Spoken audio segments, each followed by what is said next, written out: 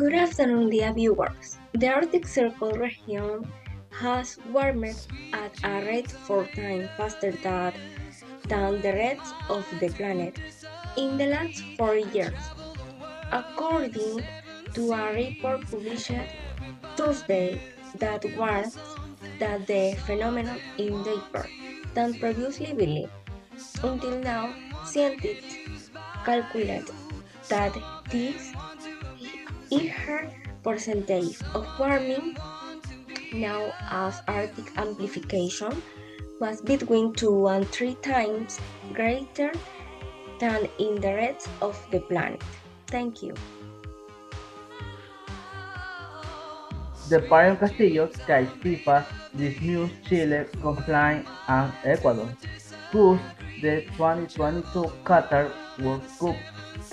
The South America outlook for the 2022 Qatar World Cup has been cleared the long time on Wednesday, in 9 June. TV Azteca reports that the FIFA started with a revolution of the dispute have then decayed.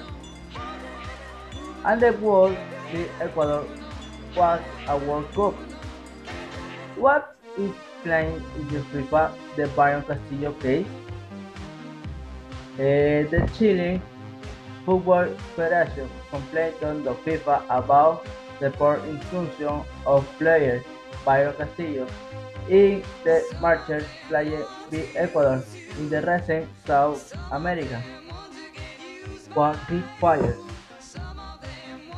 In the reaction, uh, the alleged lottery in identified documents alleging that in reality Castillo is not Ecuadorian but Colombian, who affiliately won the case and will play in the World Cup and Ecuador is classified and will be playing in at Qatar.